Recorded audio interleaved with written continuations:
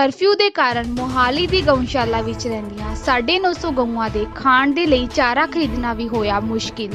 Corona virus ਦੇ ਕਾਰਨ ਸੂਬੇ ਵਿੱਚ ਲੱਗੇ ਕਰਫਿਊ ਦੇ ਕਾਰਨ ਐਸਸੀਐਸ ਨਗਰ ਦੀ ਗਊਸ਼ਾਲਾ ਵਿੱਚ ਰੱਖੀਆਂ 950 ਗਊਆਂ ਦੇ ਖਾਣ ਦੇ ਲਈ ਚਾਰਾ ਖਰੀਦਣਾ ਮੁਸ਼ਕਿਲ ਹੋ ਗਿਆ ਹੈ। ਇਸ ਦੌਰਾਨ ਗਊਸ਼ਾਲਾ ਨੂੰ ਦਾਨ ਕਰਨ ਵਾਲੇ ਲੋਕ ਘਰਾਂ ਤੋਂ ਨਹੀਂ ਨਿਕਲ ਪਾ ਰਹੇ, ਜਿਸ ਕਾਰਨ ਗਊਸ਼ਾਲਾ ਪ੍ਰਬੰਧਕਾਂ ਕੋਲ ਪੈਸੇ ਦੀ ਘਾਟ ਹੋ ਗਈ ਹੈ।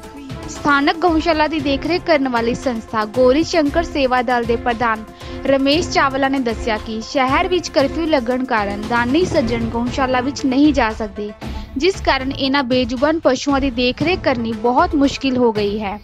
ਉਹਨਾਂ ਦੱਸਿਆ, ਗਊਸ਼ਾਲਾ ਦੇ ਵਿੱਚ ਲਗਭਗ ਲਗਭਗ 950 ਦੇ ਕਰੀਬ ਗਊਤਨ ਹੈ। ਸਾਨੂੰ ਮਿਊਨਿਸਪਲ ਕਾਰਪੋਰੇਸ਼ਨ 13 ਰੁਪਏ ਪਰ ਕਾਉ ਦੇ ਰਹੀ ਹੈ। ਪਰ ਡੋਨਰ ਬਿਲਕੁਲ ਵੀ ਨਾ ਹੋਣ ਕਰਕੇ ਸਾਨੂੰ ਬਹੁਤ ਵੱਡੀ ਪਰੇਸ਼ਾਨੀ ਆ ਰਹੀ ਹੈ। ਅਸੀਂ ਪ੍ਰਸ਼ਾਸਨ ਨੂੰ ਸਭ ਨੂੰ ਲਿਖ ਕੇ ਵੀ ਦਿੱਤਾ ਹੈ ਕਿ ਇਸ ਟਾਈਮ ਸਾਡਾ ਸਹਿਯੋਗ ਕਰੋ।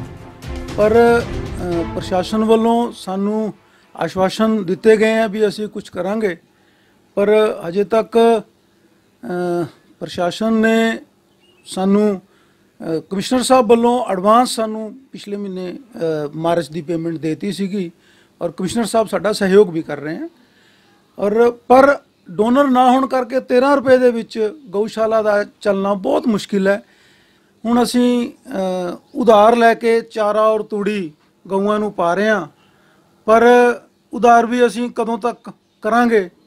ਕਿਉਂਕਿ ਬਹੁਤ ਜ਼ਿਆਦਾ ਕਿਸਾਨ ਵੀ ਉਧਾਰ ਨਹੀਂ ਕਰਦੇ।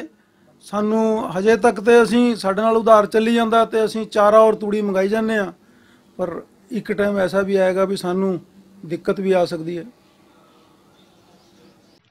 ਉਹਨਾਂ ਪ੍ਰਸ਼ਾਸਨ ਤੋਂ ਮੰਗ ਕੀਤੀ ਕਿ ਇਹਨਾਂ ਗਊਆਂ ਦੀ ਸਾਂਭ ਸੰਭਾਲ ਅਤੇ ਚਾਰੇ ਲਈ ਸਹਾਇਤਾ ਦਿੱਤੀ ਜਾਵੇ। ਸਕਾਈ ਹਾਕ ਟਾਈਮਜ਼ ਲਈ ਜਸਵਿੰਦਰ ਸਿੰਘ ਦੇ ਨਾਲ ਰਾਜਕੁਮਾਰ ਅਰੋੜਾ ਦੀ ਰਿਪੋਰਟ।